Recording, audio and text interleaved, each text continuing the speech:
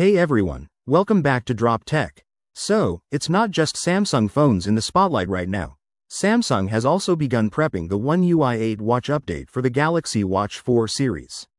But before we get into all that, let me tell you about an app that's genuinely useful and might save you a lot of stress.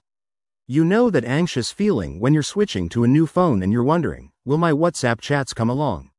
What about my photos, videos, contacts? That's where Wondershare MobileTrans comes in. This app makes data transfer so simple it almost feels like cheating.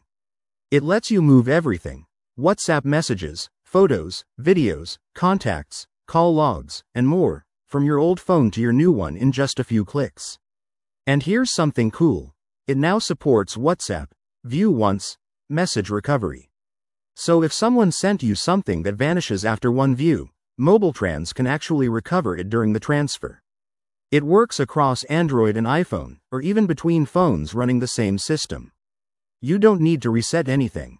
Just download the app from the link in the description, plug both phones into your PC, select what you want to transfer, and let MobileTrans do the rest.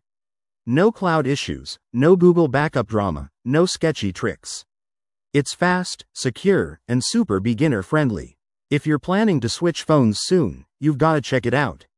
Links in the description. Now back to the main update. At the end of June 2025, Samsung started rolling out the One UI 8 watch beta for the Galaxy Watch 7 and the new Watch Ultra.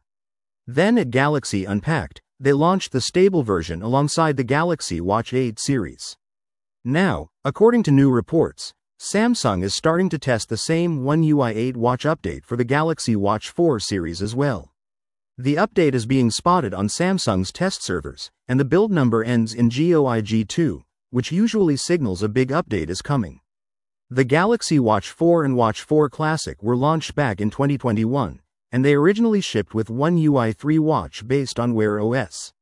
Now, it seems like they're getting bumped up all the way to One UI 8 watch, possibly their final big software update. After pushing the stable version to newer models, Samsung is now focused on getting this upgrade to older watches. And more devices are likely to be added to the list soon. The One UI 8 watch update brings several new features designed to enhance user experience. It makes the watch feel smarter, more intuitive, and more personalized. Samsung seems committed to delivering this refined experience to as many Galaxy Watch users as possible in the near future. That's all for today's video. What do you think of this update coming to older Galaxy watches? Still using the Watch 4? Let me know what you think in the comments below. As always, don't forget to like the video, subscribe to Drop Tech, and hit that bell icon so you never miss an update.